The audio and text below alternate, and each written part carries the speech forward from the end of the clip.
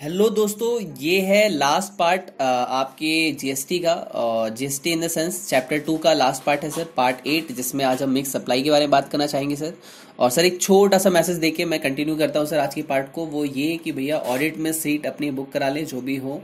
Benefit sir ये है कि आपको रेगुलर टेस्ट मिलेगा टेन बजे टेन ओ इवनिंग में सर जिसे आप शाम का दस बजे भी कहते हैं सर और सर प्लस मेरे स्पेशल नोट्स अमेंडेड सारे आपको इसमें मिलने वाले हैं सर और सर, आप रेगुलर मेरे पर्सनल टच में रहने वाले हैं, सर। आपको जो भी प्रॉब्लम होगी, आप मेरे से डायरेक्टली उस ग्रुप में डिस्कस कर सकते हैं। तो सर, ये एक ग्रुप स्पेशल मैं बना रहा हूँ, सर टॉप फिफ्टी का, जिसमें, सर, मेरी थ्री थर्टी सीट्स बुक है, सर ट्वेंटी लेफ़्ट है। किसी को ज्वाइन करना हो, सर तो प्लीज़ इंटरेस्टेड हो तो सर प्लीज़ ज्वाइन कर लें।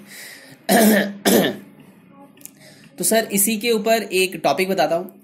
कल कल कल पता नहीं, सर का नाम लेना चाहिए, नहीं लेना चाहिए, वैसे ले लेते हैं, सर, चलता है ना? मैं आपको दो तरीके से एग्जांपल देता हूँ, आपको समझ में आ आएगा जैसे सर, नीरज सर ने अभी कल एक शायद अनाउंसमेंट की थी कि save save three thousand rupees ऐसा करके उन्होंने कुछ बताया था और उधर उन्होंने शायद ऑडिट के लिए कोई अनाउंसमेंट की थी कि, और एसएम के लिए की थी। उन्होंने शायद ये कहा था कि अगर आप दोनों एक साथ ले लें या कुछ भी ऐसा ही था समथिंग कुछ, कि आप थ्री थाउज़ेंड रुपीज़ सेव कर लेंगे। सर लेट सपोज़ इसका tax rate let suppose let suppose इसका टैक्स रेट एटीन परसेंट है, इसका टैक्स रेट ट्वेल्व परसेंट है। क्या दोनों का आपस में कोई बिलोंगिंग है? क्या अगर सिर्फ़ और सिर्फ़ ये खरीदना चाहें तो क्या इसका डिसीज़न मेकिंग इफ़ेक्ट करता है? क्या सिर्फ़ ये लेना चाहें तो इसकी डिसीज़न मेकिंग इफ़ेक्ट करती है? आंसर इज़ नहीं। दोनों का अस्तित्व अलग अलग है। दोनों का आपस में कोई रिलेशन नहीं है। तो इसी को सर हम कहते हैं मिक्स सप्लाई क्या कहते हैं सर मिक्स सप्लाई कहते हैं। लेकिन एक बात और समझिए सर इसमें जो हायर रेट होगा उसी की सप्लाई का रेट हम यहाँ पे टैक्सेबल रेट में रखेंगे।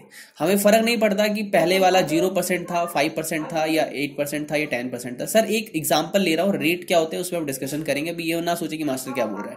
अभी बस ये याद रखना है कि जो हायर रेट होगा उसको हम ले लेते हैं। मुझे पता है सर, नहीं समझ में आया, मैं दोबारा से समझाता हूँ। लेट सपोज़ मेरी एक गर्लफ्रेंड है। लेट सपोज़ उसका नाम सैनी है। सैनी सैनी, ओह, सैनी सैनी।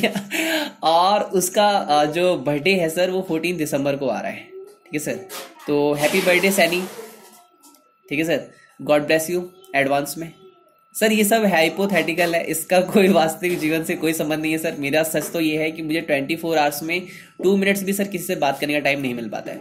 लेकिन फिर भी एक हाइपोथेटिकल एग्जांपल है, मुझे पता है कि मेरी अगर झंड होगी तो आपको एक बार में एग्जांपल याद रहने वाला है। तो सर, मैंने क्या सोचा, मैं उसके लिए एक वॉच लेता हूँ। ठीक है सर? वॉच का सर टैक्सेबल रेट था आठ परसेंट। मैंने सोचा कि यार, ठंड आ रही है, उसके लिए कोई जैकेट भी लेते हैं। उसका रेट था सर टेन परसेंट। मैंने सोचा कि यार, उसके लिए ना एक एक अच्छी सी जीन्स भी ले लेते हैं। तो उसका रेट था अट्ठारह परसेंट। फिर मैंने सोचा, उसके लिए एक नेकलेस भी ले लेते हैं। तो उसका रेट था अट्ठाईस परसेंट।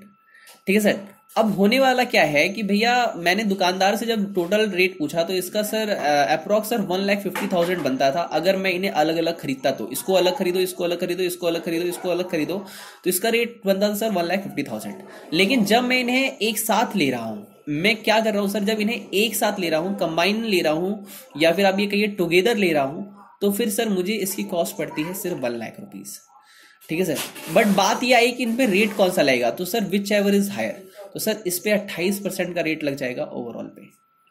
आई थिंक ये बात आपको समझ में आ गई। अब सर, इसे समझते हैं। और happy birthday Saini in advance कहते हैं ड्रीम गर्ल मुझे तो खुद पता नहीं कौन है, कहाँ से है, और ये भी नहीं पता सर, बस ऐसे ही आपको याद दिलाना था तो इसलिए मैंने कहा इसी बहाने आपको ये झंड मेरी होगी इंसल्ट मेरी होगी, और याद आपको हो जाएगा। ठीक है सर, अब आप भी नहीं भूलोगे, मैं भी नहीं भूलूँगा कि चौदह दिसंबर को ये वाला मिक्सिंग का एग्ज़ाम्पल समझाया था, और ये आपको अब याद हो चुका है। ठीक है सर? वैसे जो भी हो, जहाँ भी हो God bless you take care अब सर, ये सुनिए। मिक्स सप्लाई का सर, सुनिए। क्या होता है सर? मिक्स सप्लाई के लिए सर, ये मैंने अपने नोट्स में डाला हुआ है sir mix supply section eight है। ये क्या कहते हैं? कंपोजिट सप्लाई कंप्राइजिंग टू और मोर सप्लाई इसमें भी दो और मोर होते हैं। ठीक है सर? दो और मोर होते हैं one of which principal supply एक प्रिंसिपल होता है ठीक है sir. Shall be treated as supply of such principal supply मतलब उस प्रिंसिपल सप्लाई को बेचने के लिए हम ये सब बेच रहे हैं, लेकिन इसमें प्रॉब्लम क्या है सर? इसमें सर ध्यान से समझना है, इसकी लैंग्वेज कुछ और बोल रही है, समझ में कुछ और आता है।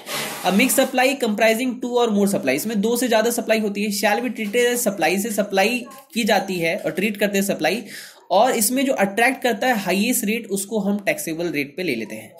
ठीक है सर? अब जरा ये पढ़ते हैं कि प्रैक्टिस मैनुअल क्या कहता है स्टडी मटेरियल हमारा क्या कहता है सर? ठीक है सर? अगर ये हमने समझ लिया तो ये खत्म। और सर गुड न्यूज़ ये संडे को एक घंटे का एक पार्ट आएगा सर, उसमें ओवरऑल आपका फिनिश करवा दूँगा सर मैं इस टॉपिक को। ठीक है सर? उसी में मैं हंड्रेड परसेंट रिविजन डाल दूँगा आपका और ये आपका सर आपको एक बार में पूरा का पूरा समझ में आ जाएगा।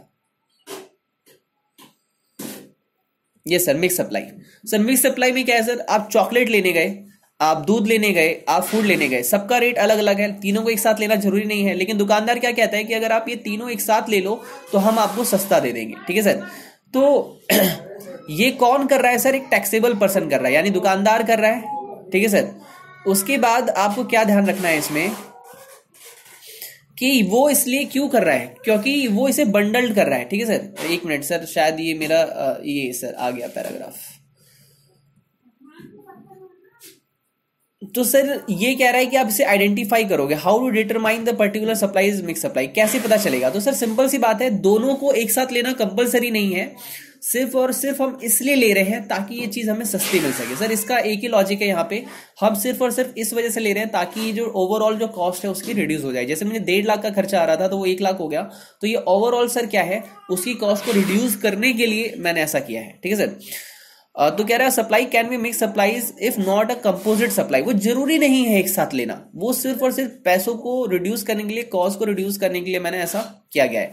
और नॉट नेचुरली बंडेड उनका एक साथ होना ज़रूरी ही नहीं है। क्या जीन्स पैंट का और नेकलेस का एक साथ होना ज़रूरी है? बिल्कुल नहीं है, लेकिन सस्ती पड़ रही है सर, इसलिए मैंने ले ली। ठीक है सर? उसके बाद सर यहाँ पे सर दो एग्ज़ाम्पल हैं। वो याद रखने सर एग्ज़ाम में क्या होगा सर, ये केस स्टडी के तौर पे आपसे पूछ लेगा तो आपको पता होना चाहिए। सर कह रहा है, एक शॉपकीपर स्टोरेज कह रहा है सेलिंग स्टोरेज वाटर ठीक है सर, पानी के स्टोर करने की टंकी वगैरह दे रहा है आपको बोटल्स वगैरह along with the refrigerator refrigerator ठीक है सर तो बोतल का और रेफ्रिजरेटर का कोई कनेक्शन नहीं है। आप रेफ्रिजरेटर लो और बोतल ना लो, घर की बोतल पैप्सी की बोतल यूज़ करके डाल दो तो उसको भी कोई रिलेशन तो है नहीं। लेकिन सिर्फ़ और सिर्फ़ वो अपनी सेल को बढ़ाने के लिए ठीक है, सर? हमें कहता है कि, सर, आप बोतल लोगे अलग से तो पाँच हज़ार का खर्चा आएगा, फ्रीज अलग से लोगे तो पच्चीस का ओवरऑल तीस का आएगा, लेकिन हम आपको अट्ठाईस का ओवरऑल लगा देंगे, आप हमसे ले लो। तो ये हो जाता है, सर मिक्स सप्लाई दोनों का आपस में कोई रिलेशन नहीं है। दुश्मन दुश्मन, दोस्त बराबर। इसका याद रखना, सर एक डायलॉग यहाँ पे लिख लो। दुश्मन दुश्मन, दोस्त बराबर। क्यों? क्योंकि हमें तो अपनी जंग जीतनी है, हमें तो अपनी सेल करवानी है तो अपनी सेल को इंक्रीज कराने के लिए कई बार ऐसे सप्लायर करते हैं, इसलिए हम इसे ऐसे ट्रीट करते हैं। एक और एग्ज़ाम्पल पढ़ लीजिए, sir. Supply package consisting of canned foods आपको खाना मिल रहा है सर, मिठाइयाँ मिल रही हैं, आपको चॉकलेट्स मिल रही हैं, आपको केक मिल रहा है, आपको फ्रूट्स मिल रहा है, ठीक है सर, और आपको ड्रिंक भी मिल रही है, फ्रूट जूस भी मिल रहा है, ये सब आपको मिल रहा है, लेकिन एक सिंगल प्राइस में। और एक सिंगल प्राइस से क्या लॉजिक है सर? बस एक ही लॉजिक है कि वो आपको सस्ता मिल सके, इसलिए आप ऐसा कर रहे हैं। उसके बाद सर आपको ध्यान रखना है कि इनका आपस में कोई रिलेशन नहीं है। रिलेशन जानबूझ के बनाया गया है ताकि वो हमें सस्ता मिल सके, इसलिए हम इसे मिक्स सप्लाई कहते हैं। ओवरऑल आपका सेक्शन एट यहाँ पे कंप्लीट होता है। तो sir I hope and really I wish कि आपको पूरा जीएसटी का चैप्टर टू पसंद आया हो, सर। और सर, जैसे कि मैं आपको बात बता चुका हूँ, सर ऑडिट के लिए मैं आपको बता चुका हूँ। और मेल आई सर, दोबारा से बता दू C A hub dot zero zero seven zero zero seven at the rate gmail dot com और सर ऑडिट में भी ब्रॉडकास्ट बनाऊँगा, जैसे जीएसटी का ब्रॉडकास्ट है ब्रॉडकास्ट सर ज़रूर ज्वाइन कर ले सर और ब्रॉडकास्ट का डिस्क्रिप्शन सर जो है, वो आपको डिस्क्रिप्शन बॉक्स और कमेंट बॉक्स में मिल जाएगा, वहाँ से आप ज्वाइन रखें, ताकि रोज जो शाम को टेस्ट होते हैं, उसके क्वेश्चन आप देख पाएँगे एग्ज़ाम में कैसे क्वेश्चन पूछे जाएँगे. ठीक है सर इसी के साथ अलविदा चाहूँगा. वीडियो पसंद आया हो तो लाइक करना चैप्टर टू समझ में आया हो तो कमेंट करना. और really sir I wish and I hope कि आप इस बार एग्ज़ाम में छा जाओ, सर। क्योंकि आज तक किसी ने, अब तक, मुझे तो नहीं लगता, सर, अब तक किसी बच्चे ने चैप्टर टू कंप्लीट पढ़ा भी होगा या किसी टीचर ने पढ़ाया होगा। कल सर किसी फ़ेमस टीचर की बुक में खरीद के लाया, मैंने सोचा सोचा कि उनके तीस चालीस साल का एक्सपीरियंस का फ़ायदा मुझे हो। सर, उसमें चार पेजेस के अंदर ये पूरा चैप्टर निपटा दिया गया है। मेरे नोट्स में, सर ट्वेंटी फाइव है आईसीआई के नोट्स में फोर्टी सेवन पेजेस हैं। और इन्होंने चार पेजेस में, सर, निपटा दिया सोचो टीचर ने क्या पढ़ाया होगा। मैं नाम ले लूँगा, sir.